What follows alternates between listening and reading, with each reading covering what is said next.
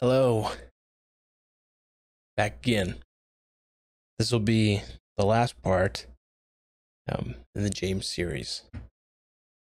It's crazy to think um, that however long ago I started this, uh, that I'd actually get through the whole book of James. Um, I wouldn't think that would even happen. It's crazy. Um, but here we are. The last portion um, the last section of James 5. And this is it, the whole book. So before we do that, let's pray before we get into it. Jesus, thank you for the word, for your blessings, for what you do. This has been awesome. It's been really cool of diving into and looking at what you have for us in James this cool, great book. Um, Jesus, help us not be it. That there is, uh, in fact, something after James. That wherever we might be taken, whatever it might be, that we um, would study it, that we would dive in, that we would find new things with your help, with your guiding. Thank you so much, Jesus, for all that you do. We pray this in your name as we study. Amen. So last last portion here, James 5. This is the power of prayer. It's a good thing to end on. Good thing to end on. So James 5 verse 13 says, "Are any of you suffering hardships?" Yes. A lot a lot of us are. There's a lot of hardships. There's a lot of crazy and insane things going on right now, and many hardships for so many people. Said you should pray. Are any of you suffering hardships? You should pray, period. Are any of you happy? Sure, sometimes. Definitely. You should sing praises, period. Are any of you sick? That's a little too close to home, isn't it? Wow. Are any of you sick? You should call for the elders of the church to come and pray over you, anointing you with oil in the name of the Lord. Um, maybe in a context of something that's not so contagious. Yeah, if any of you are sick, still, if any of you are sick, pray. If any of you know of anyone who's sick, pray.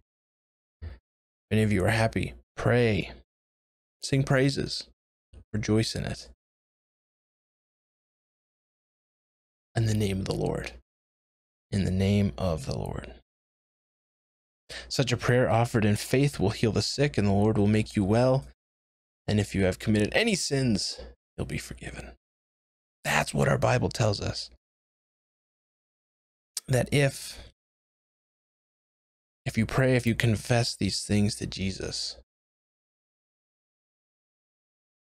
Jesus is right and just to forgive you, right? That he will forgive you. Verse 16 Confess your sins to each other and pray for each other so that you may be healed. The earnest prayer of a righteous person has great power and produces wonderful results. There is so much power in prayer. It's amazing. And yes, be earnest in your prayers. Be passionate in your prayers. Be faithful in your prayers. But don't pray necessarily to expect something to be solved, right? Because we don't pray for the results. We don't pray for things to be magically changed and, and, and happen uh, because we want them to, right? We pray because we need it and we need God's guiding and blessing. That's why we pray. It says Elijah was a human as we are. And yet, when he prayed earnestly that no rain would fall, none fell for three and a half years. Then, when he prayed again, the sky went down. The sky sent down, excuse me, rain, and the earth began to yield its crops. So, a man of insane faith, like Elijah, he prayed this prayer of, Hey, no rain, and prayed again, Hey, give us rain. It came down. Unfortunately, we are not um, Elijah. And so all of our prayers will not be perfectly answered like that. But that doesn't mean we shouldn't pray. We should. We should. Because we need to be asking, praying earnestly to God for these things so that we can stay close to Him. We need to pray to stay close. But God isn't some genie still, right? I always have to keep that in the back of my mind when I pray for things that that I feel like God needs to intervene in and God and things need to happen. I have to keep it in this context that okay, God, yes, I'm going to pray to you because I want to be faithful to you, but I understand that I'm not just coming to you for you to, you know, grant me wishes. I don't want to come to you for that. Hmm. And so it finishes saying, My dear brothers and sisters, if someone among you wanders away from the truth and is brought back, you can be sure that whoever brings the sinner back will save that person from death and bring about the forgiveness of many sins. That's what it's about. That we who are who are in this community, we're in this relationship with Jesus, that we want so desperately to bring so many others in it with us. Because we want them to know the truth that, that we've seen that Jesus saves.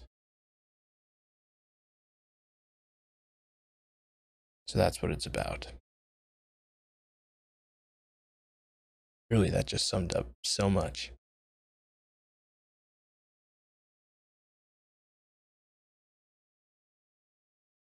That we are to bring those in, let them know what we've been shown the grace and the love of Jesus.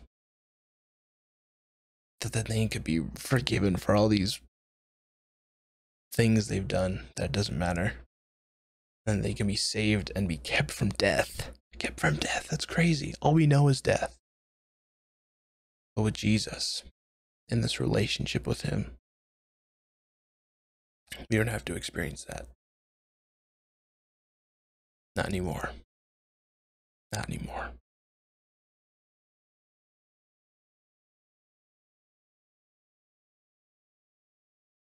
Wow.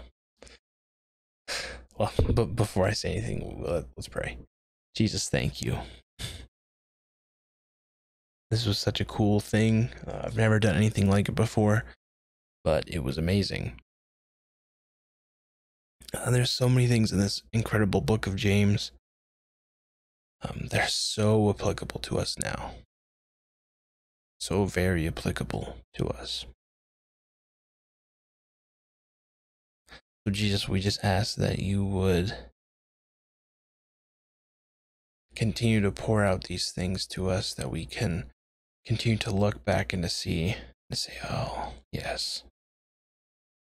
Let me live by these teachings, these these things of guidance that have been passed down again and again and again. Lord, thank you. Thank you so much. Please be with us all. Send us with your spirit. In Jesus' name we pray. Amen. Wow. Whole book, five chapters, all down. Thank you. This has been really, really cool. Um, not sure what book uh, to do next. I'd love suggestions in the comments. Um, you have my number, my email text them, send me an email, let me know. Um, I'm not sure what to to go into next. We'll see. Maybe I'll just let it simmer and see if God just points out another book to me right away, like he did with James. but again, thank you so much, everyone. This has been really fun, really cool. Um, I hope to continue it, maybe with a different book. Um, but we'll see thank you again.